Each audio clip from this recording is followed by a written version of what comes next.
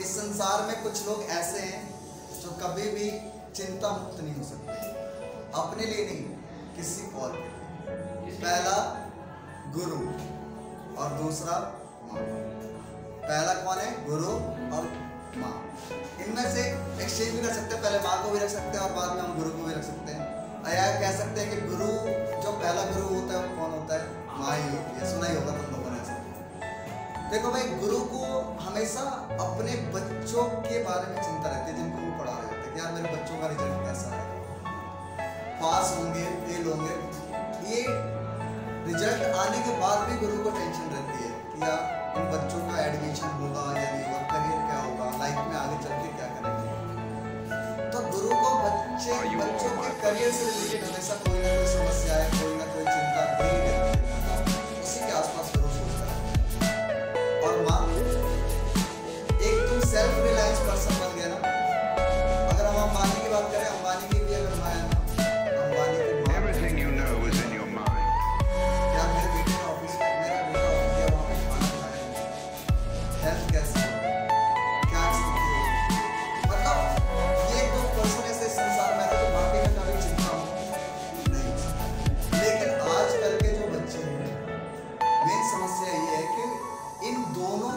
कदर ही नहीं है उनकी नज़रों में ना गुरु की और ना माँ की।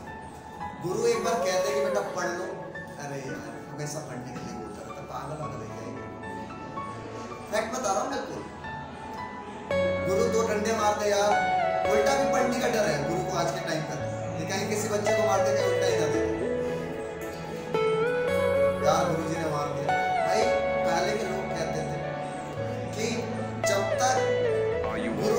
errado.